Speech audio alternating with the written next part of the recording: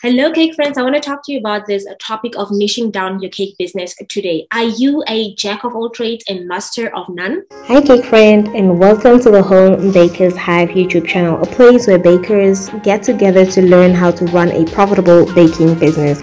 Like, comment, and subscribe, and let's grow together. Well, I want to let you know that, you know, we can possibly not be doing everything, all right? And we can also not be selling to everyone, all right? If you sell to everyone, then you sell to no one. And that is the most, most important thing that you need to know. In the cake industry, there's so many things that you can do. You can supply, you can decorate, you can you know support other cake makers but then choose a niche and choosing a niche is very easy. It's about focusing on your zone of genius. Your zone of genius starts with your passion. What are you passionate about? And then, secondly, you need to link your passion to what is profitable. Then you actually come down to the business equation, which tells you that your passion might not always be equal to your profit. Bang.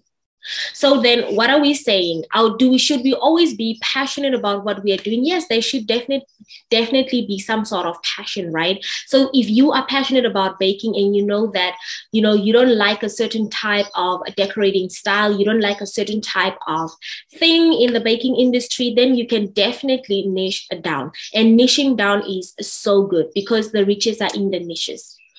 Look, we as cake makers are always looking out for new things to do. We are always looking out for new things to try. So if you are the sugar flower queen, then you can support other cake makers that want to do sugar flowers.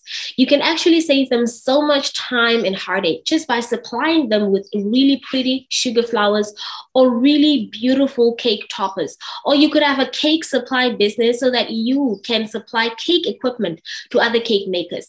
But then the point of the matter is that you need to niche down.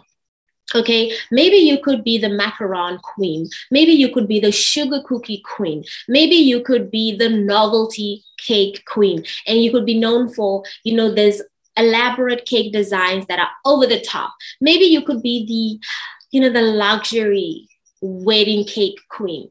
But then I want you to know this one thing that you need to niche down. We will not all have the same decorating aesthetic. We will not all have the same decorating style. We will not all have the same thing. But then there are really clients out there. When we are working with niches, there are clients out there that love a certain style, that love a certain technique. For example, just because everyone is doing the fondant cake thing, you don't have to do fondant cakes. You could just specialize in doing beautiful buttercream cakes that actually look like fondant cakes, right? Because they are so smooth that have probably you could do fondant cakes or let me say buttercream cakes that have a very modern posh style.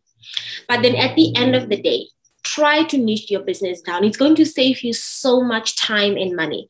Remember if you're a jack of all trades you'd need to buy all the supplies all the ingredients that have to do with baking.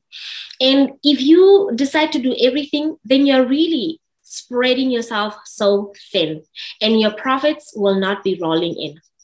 Say, for example, you could even just focus on vegan baking, or you could just focus on gluten free baking. These are some awesome niches where, guys, you can just market yourself and make good money. But then just don't do everything because you'd be spreading yourself thin, you'd be buying all the ingredients the cake supplies. But then if you niche down, people will know you for this one thing. They will know you for this one offer. They will know you for this one thing. And if we talk about you, you, you, you, if we talk about you, then we'll be like, mm, you could go to that for her. I mean, if you want that, don't go anywhere else. Just go to her because we know that you are the master of your craft. Think about that today. I'll see you in the next one.